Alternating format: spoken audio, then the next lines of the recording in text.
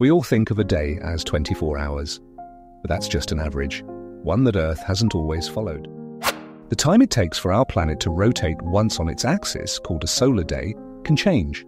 Tiny variations in Earth's spin can add or subtract milliseconds. But now those changes are accelerating.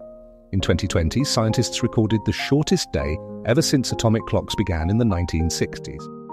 Earth completed a full spin in just 23 hours, 59 minutes, and 59.99 seconds.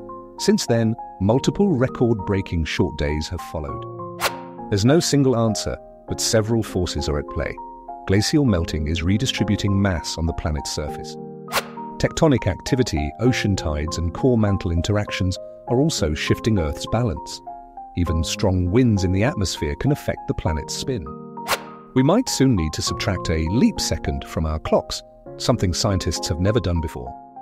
Too many changes too fast could disrupt communication systems, navigation, and even financial markets.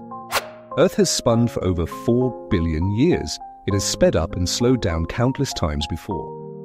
But now, in the digital age, we feel every second. Are we ready to keep up?